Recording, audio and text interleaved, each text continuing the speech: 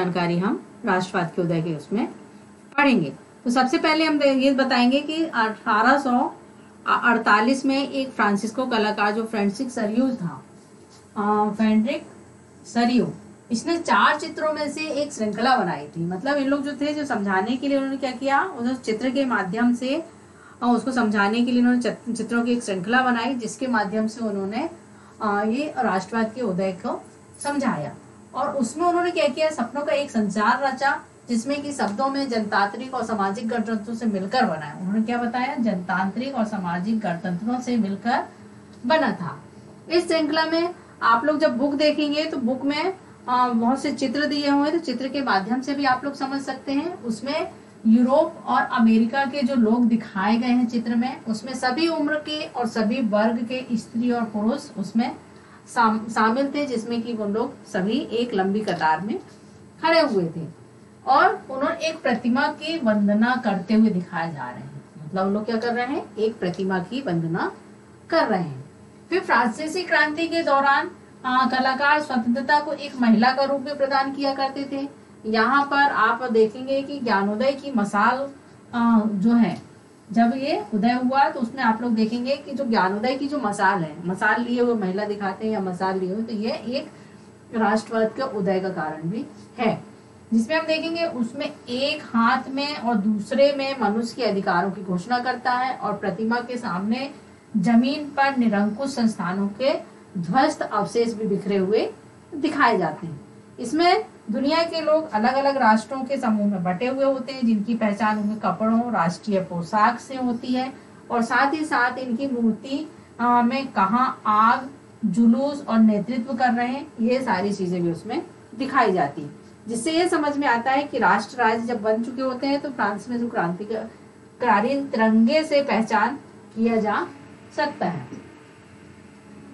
अभी अभी हमने ये देखा कि जो पीछे पीछे जर्मनी के लोग हैं, जो काला, लाल और सुनहरा झंडा थामे हुए हैं, ये आप लोग को ये सभी चीज़ें जो है, आप जब बुक में देखेंगे तो ये चित्रों में, समझ में आएगा। तो यहाँ पर उस समय सरयू के छवि निर्मित की गई है, जर्मन के लोग हैं, उसमें संयुक्त राष्ट्र का हिस्सा नहीं बने हुए हैं, और अनेक जर्मन भाषी रियासतें भी प्रजातांत्रिक संविधान के अंतर्गत एक राष्ट्र राज्य गठित करने की चाह उन्होंने रखी थी। जहाँ पर यहाँ पर जर्मन लोगों के बाद ऑस्ट्रिया और दो सिसलियों को राजशाही जैसे Lombardy, Poland, England, Ireland, Hungary, रूस के लोग हैं।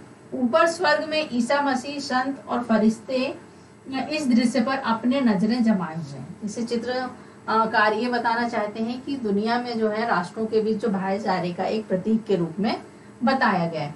जो कि ये सारे लोग क्या कर रहे हैं, ये संत ईसा मसीह वगैरह ये दृश्य को अपनी नज़रों में जमाए हुए फिर इस अध्याय में ऐसे कई विषय भी उठाए जाएँगे जिनकी काल्पनिक अभिव्यक्ति सरयू के चित्र में किया है और साथ ही साथ यूरोप और राजनीतिक मानसिक जगत में भारी परिवर्तन ला दिया था। उसके साथ ही साम्राज्यों के स्थान पर राष्ट्र, राज्य का उदय हुआ। यूरोप में लंबे समय में एक ऐसे आधुनिक राज्य की गतिविधियाँ और विचार विकसित हो रहे थे जिसमें कि परिभाषित क्षेत्र में प्रभु सत्ता प्रभु सत्ता एक केंद्रीय शक्ति थी, जिसके माध्यम से हम शासन कर सकते थे। एक साझा पहचान भाव भी है जिसमें साझा इतिहास विरासत की भावना भी थी, साझेपन की भावना भी अनंत काल तक नहीं थी और लोगों की सरगर्मियों में निर्मित हुई थी।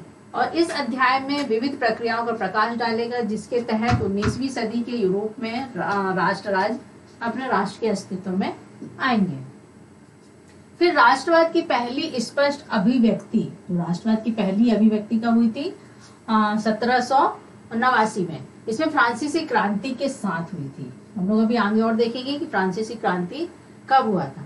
जिसमें फ्रांस एक ऐसा राज्य था जो पूरे संपूर्ण भूभाग पर यह निरंकुश राजा आधिपत्य था, जिसमें फ्रांसीसी क्रांति से राजनीतिक, संवैधानिक बदलाव आदि प्रभुसत्ता राजतंत्र में निकालकर फ्रांसीसी नागरिकों के समूह में हस्तांतरित हो रहे थे। क्रांति की घोषणा, जब क्रांति की घोषणा की गई थी, तब लोगों द्वारा गठन, राष्ट्र गठन होगा और वह भी कब होगा, इसमें नियति तय करेगा। मतलब उस समय परिस्थितियाँ कैसी उत्पन्न होगी, वह नियति ही तय करेगी। और प्रारंभ से ही फ्रांसीसी क्रांतिकारियों ने ऐसे अनेक कदम उठाए, जिसमें फ्रांसीसी लोगों ने एक सामूहिक फैसला इसमें आंतरिक आयात, निर्यात शुल्क समाप्त कर दिए गए थे और साथ ही साथ भार नापने की एक समान व्यवस्था लागू की गई थी। इसमें बस्तियों और को आश्वसाइज किया गया था, जिसमें पेरिस में फ्रेंच जैसी जो बोली थी, उसमें लिखी जाती थी और राष्ट्र की साझा भाषा बन गई थी। फिर क्रांतिकारियों ने एक यह भी घोषणा की थी कि फ्रांसीसी राष्ट्र का यह भाग्य है, जिसमें कि यह लक्ष्य है, यूरोप के लोगों ने निरंकुश शासकों ने मुक्त कराए और शब्दों में राष्ट्र यूरोप के अन्य लोगों को राष्ट्रों में गठित होने में मदद होगा। फ्रांस की घटनाओं की खबर यूरोप के विभिन्न शहरों में पहुँचा और साथ ही साथ छात्र, शिक्षित हुए, मध्यम वर्ग के लोग, अनेक अनेक सदस्य जो थे, वो जेकोबिन क्लबों की स्थापना करने में लगे थे। मतलब क्लब की स्थापना करने से होगा कि वे अपनी अपनी भावनाओं को अभिव्यक्त कर सकते थे, अपनी बातचीत के माध्यम से देश को कैसे करना है, कैसे विकास करना है, वे सारी गतिविधियों, अभियानों में फ्रेंच सेनाओं के लिए रास्ता तैयार किया गया था। फिर 1970 के दशक में हालैंड, बेल्जियम, स्विट्जरलैंड और इटली के बड़े इलाकों में घुसी, जिसमें क्रांतिकारी युद्धों के शुरू होने के साथ ही फ्रांसीसी सेनाएँ राष्ट्रवाद के विचार को विदेशों में ले जाने लगी और नेपोलियन की नियंत्रण में जो विशाल क्षेत्र आया, वह वहाँ पर अनेक सुधारों की शुरुआत उन्होंने की। फ्रांस में पहले से ही आरंभ किया जा चुका था कि फ्रांस में राजतंत्र वापस लाकर नेपोलियन निसंदेह ही वहाँ पर प्रजातंत्र को नष्ट कर सकता था। और क्रांतिकारी सिद्धांतों का समावेश किया गया, जिसमें सबसे पहले क्या हुआ? 1804 की नागरिक संहिता में उन्होंने आमतौर पर नेपोलियन की संहिता के नाम से उसको जाना जाता है। जो नागरिक संहिता है, जिसमें आमतौर पर नेपोलियन के नाम से इस संहिता को जाना जाता है। फिर आधारित जो विशेष अधिकार उन लोग को प्राप्त थे, उसे क्या किया गया था? समाप्त कर दिया गया था। इस संहिता में जो था, फ्रांसीसी नियंत्रण के अधीन क्षेत्रों में भी लागू किया गया था, जिसमें डच गणतंत्र, स्विट्जरलैंड, इटली और जर्मनी के जो नेपोलियन और फ्रांस, जो प्रशासनिक विभाजनों में को सरल बनाया गया था, साथ ही साथ सामंती व्यवस्था को समाप्त कर दिया गया था। फिर यहाँ पर भू दासत्व, जागीरदारी शुल्कों की मुक्ति दिलाई गई थी।